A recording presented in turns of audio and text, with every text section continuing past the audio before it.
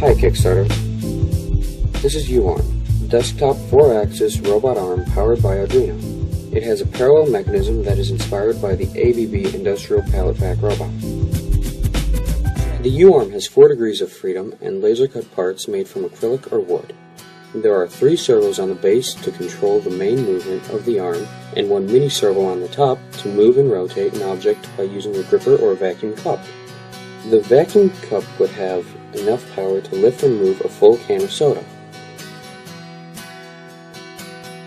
With our Arduino compatible circuit board, coding can be made much easier with the Arduino IDE. Besides writing codes to program it directly, the embedded inverse kinematics algorithms we wrote for the uArm enables it to be controlled by setting the X, Y, and Z coordinates, instead of controlling the servos directly. Our algorithms also make mouse and keyboard control possible. We have already developed a Windows application and we are working on the iOS and Android apps as well, so you can control the uArm with your phone. So no matter if you're a programming master, a keen parent that wants to get your child interested in robotics, or if you're just a robot fan who doesn't know where to start, the uArm is a great way to learn about robotics.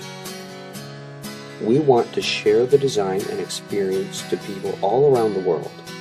So after the Kickstarter campaign in May of 2014, all the design files, both hardware and software, will be released to the public. The next version will be stepper motor driven, and thus it will be more accurate. We will add remote control function on PC and smartphones as well. All of this cannot be done without your support your funding, we can make the uArm better, cheaper, and more easily accessible.